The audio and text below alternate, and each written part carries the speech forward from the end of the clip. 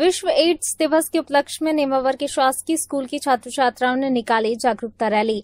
देवास ज़िले के नेमावर में जिला शिक्षा अधिकारी के आदेश अनुसार शासकीय हाई स्कूल की छात्र छात्राओं ने नगर के प्रमुख मार्गों से रैली निकालकर लोगों को एड्स जैसी महामारी से जागरूक किया। शासकीय स्कूल की छात्र छात्राओं ने नगर के मुख्य मार्गों पर लोगों को एड्स के प्रति जागरूक रहने की अपील की। नेमावर से सुनील जैन की रिपोर्ट।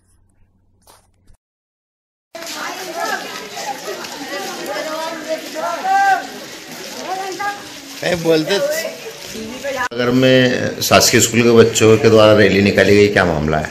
हाँ ये रैली जो है आज विश्व एड्स दिवस के उपलक्ष्य में लोगों को और छात्रों को एड्स के प्रति जागरूकता कि किस तरह से हम एड्स से बचाव कर सकते हैं उसको जागरूक करने के लिए रैली का आयोजन जिला शिक्षा अधिकारी महोदय द्वारा डाले गए पत्र के अनुसार निकाली गई। ठीक है